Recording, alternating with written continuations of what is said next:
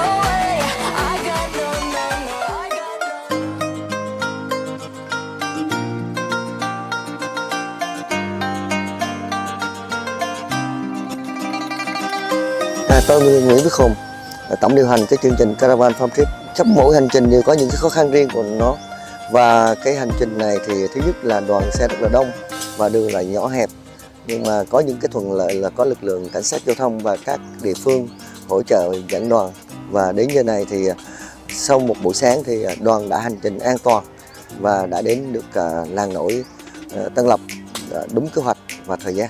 À, chị tên là Đỗ Thị Kim Dung. Ngay từ đầu thì mời gọi anh à, em của mình để đến với Long An. Thì từ hồi sáng tới bây giờ thì rơi đi rất là nhiều cái cung đường của Long An với những cái cung bậc cảm xúc. À, theo cảm nhận của chị Dung thì tất cả các à, thành viên trong đoàn đều rất là thích thú và có những cái sự tương tác rất là thú vị trong cái chuyến đi này. Xin chào tất cả mọi người, mình là Hội đội Diễm Trinh, Hoa Khôi Sông Vàng 2022 à, thật ra đây là một lần mình lại quay trở về với quê hương của mình à, với những địa danh rất là Ờ, thu hút khách du lịch đến với Long An. Hành trình từ sáng cho đến giờ thì mọi người cũng đã đi một quãng đường khá là xa để ờ, đến với Long An. Tuy nhiên là bầu trời hôm nay cũng rất là chiều lòng người à, trời rất là mát và mọi người có thể à, thoải mái trong việc à, di chuyển và có thể tận hưởng được những à, khoảng thời gian thoải mái tại Long An. À, chị chúc là tất cả các thành viên của chị là luôn khỏe vui vẻ đồng hành trong suốt chặng đường của chị là hai ngày một đêm và mong muốn rằng là trong cái thời gian tới các cái thành viên luôn luôn nhớ đến Long An và cùng Long An để phát triển du lịch. Trước hết thì à, tôi cũng cảm ơn toàn thể các thành viên trong đoàn đã quan tâm và đồng hành cùng chuyến đi và trong hành trình tiếp theo gần hai ngày nữa thì à, đề nghị các à, thành viên trong đoàn tiếp tục nêu cao cái tinh thần kỷ luật để đoàn được hành trình được an toàn, vui vẻ và cùng ban tổ chức sẽ có một cái chương trình thật sự đẹp.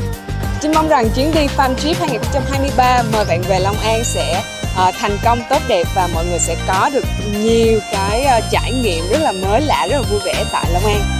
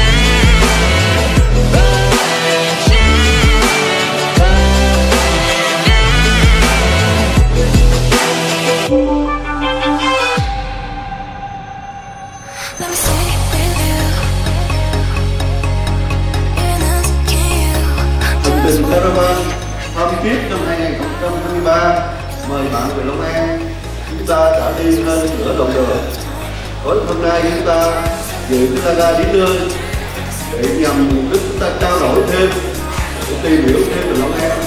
Đến với Long An như thông điệp Long An du lịch an toàn, thân thiện và hiệu khách.